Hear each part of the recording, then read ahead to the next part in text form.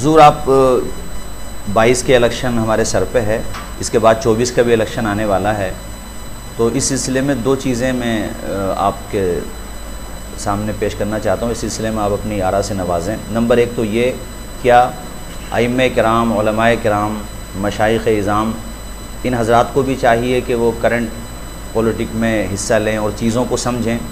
दूसरा सवाल ये है, क्या ऐसा हो सकता है कि मुस्लिम माइनॉरिटी किसी वक्त जा कर के अगर ये स्ट्रगल करती है, मेहनत करती है तो ऐसी सिचुए मतलब ऐसी सूरत हाल आ सकती है कि हम किंग मेकर की सूरत में उभर के आ जाएँ? ये दो बात। पहली बात तो मैं आपको ये वाजे कर दूँ कि लोग हमारी बातों को बहुत गहरी सियासत से जोड़ते हैं। खैर, उनकी अपनी अपनी मर्ज़ी है। बाज़ हमारे यहाँ हालात ऐसे हैं कि सियासत को एक शजर ममनुआ के तौर पर भी देखा जाता है। यानी बिल्कुल ऐसी चीज़ है कि उसमें जाना ही नहीं चाहिए हिस्सा लेना ही नहीं चाहिए। आपके दो सवाल हैं। आपने कहा कि आइमा को हिस्सा लेना चाहिए मौजूदा सियासत या नहीं। पहले इसको मैं वाजे कर दूँ कि सियासत में हिस्सा लेना एक अलग चीज़ है और सियासी शूर बेदार करना एक अलग अलग चीज़ है बहुत अच्छी बात। ये दो अलग चीज़ें मैं तो कहूँगा कि हिस्सा लेने में हो सकता है कि आप जो है कुर्सी के लालच या फिर फ़लाँ फ़लाँ मनासिब के अहदे के लालच में आगे बह रहे हों।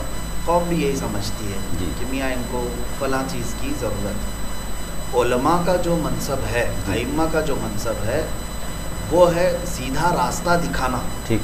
सियासी शूर बेदार सियासी शूर बेदार करना। और हैरत होगी आपको मैंने पिछले साल ये अर्ज़ भी किया था कि हजूर गौसल आज़म दस्तगीर सैदना अब्दुल कादिर जिलानी रज़ी अल्लाह के हालात और मनाकब बहुत बयान किए जाते हैं मगर आप देखें उनका उनकी ज़िंदगी का एक विंग एक पहलू ये भी है कि आपने बगदाद में सियासी शोर बेदार किया है। बेशक बेशक। और कभी आप इस अंदाज से मुताल करें और उनको सरकार अब्दुल कादिर जिलानी रज़ी अल्लाह को तो आपको अंदाज़ा होगा कि आपने गवर्नर से लेकर खलीफा तक की असलाह की। सलाहुद्दीन अयूबी तक। नहीं वो तो अलग चीज़ है बात जी जी हाँ इसलाह की है जी।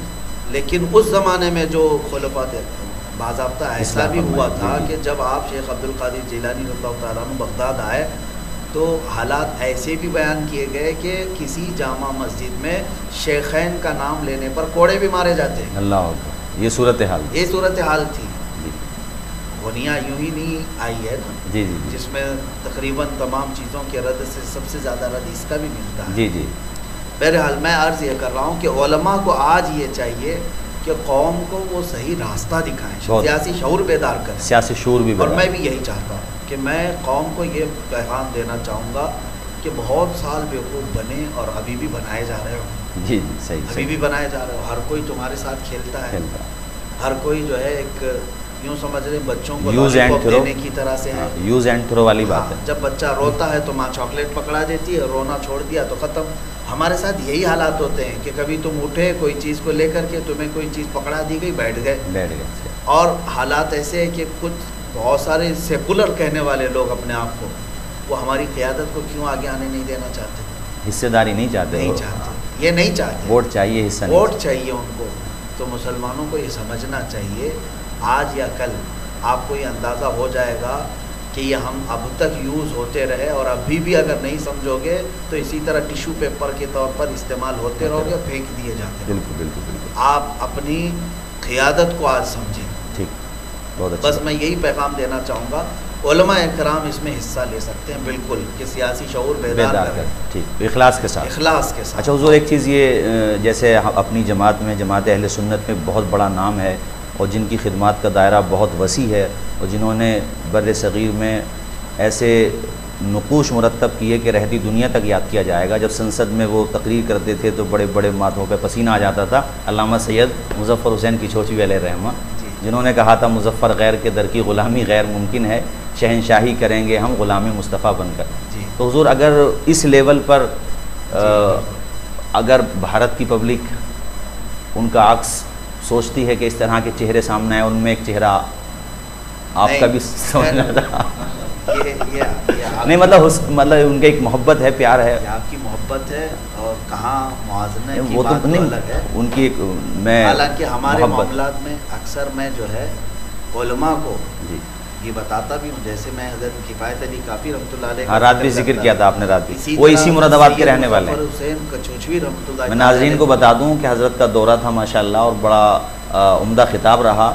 और रात हज़रत ने चूँकि मुरादाबाद से मुतसर पीपल्स आना जो हजूर हाफिज़ मिलत की सरजमीन है उसी के बिल्कुल करीब पीपल्स आना तो हज़रत ने तकरीर के आगाज़ ही में जो मुजाहिदीन आज़ादी थे, उनमें जो जिनका, जिनके असमाय ग्रामी सर फहरिस्त आते हैं, उनमें से एक सैयद किफ़ायत अली काफ़ी, वो इसी मुरादाबाद की सरजमीन से थे।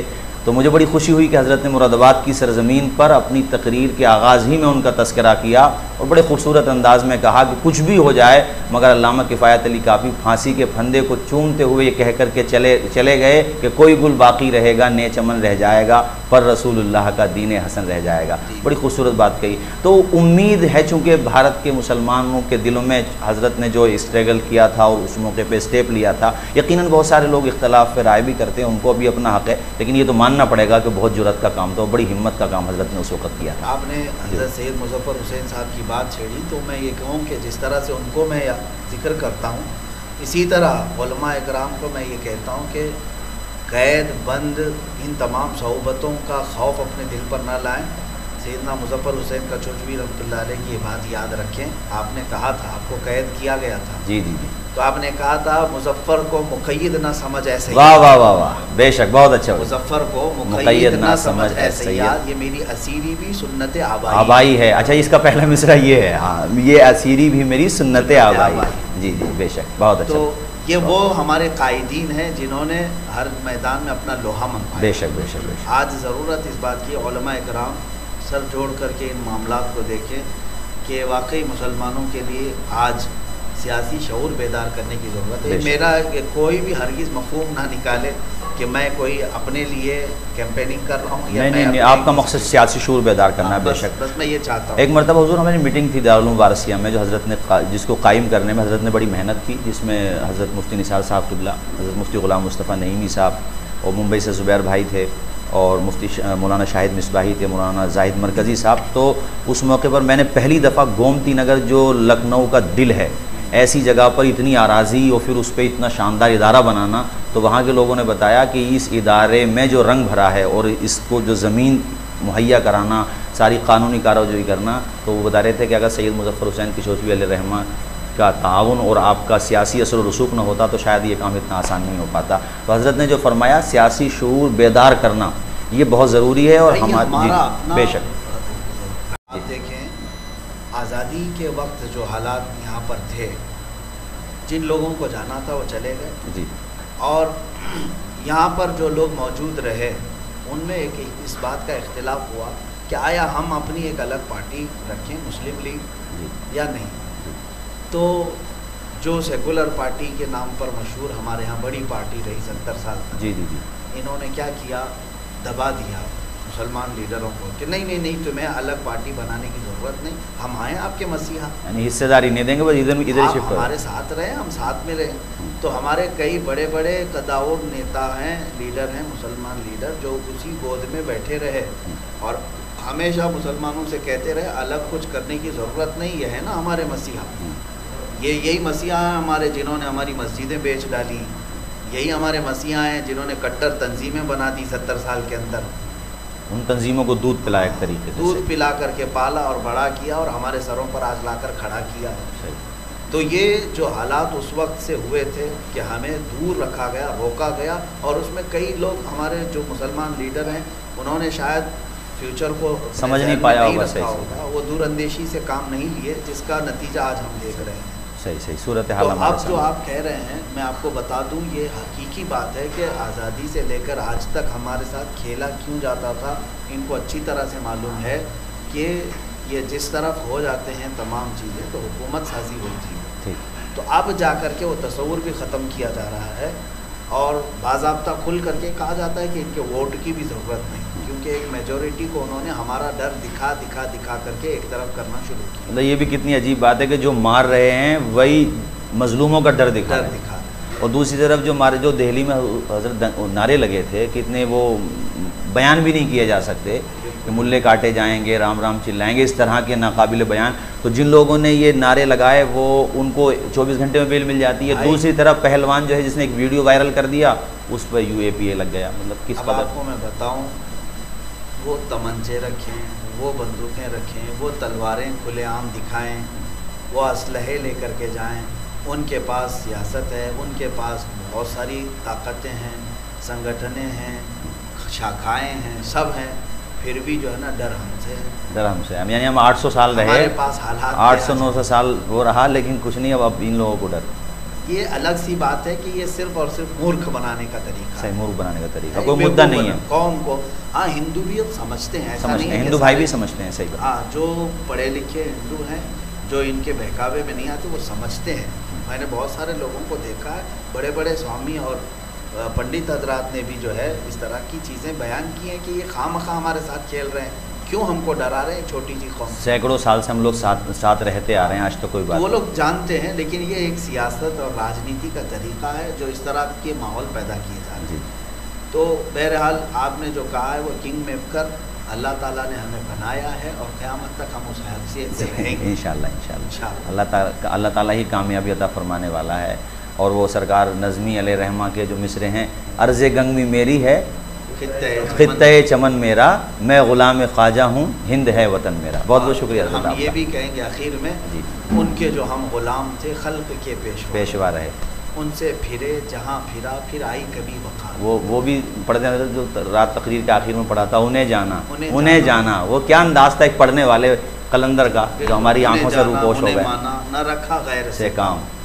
हमद में दुनिया से मुसलमान इज़्ज़त व आबरू उसी की है जो अपने मरकज़ पर वापस आ जाए। अल्लामा इकबाल ने जो कहा कि मोहम्मद से वफा उन्हें तो हम तेरे हैं। ये जहाँ चीज़ है क्या लोहो?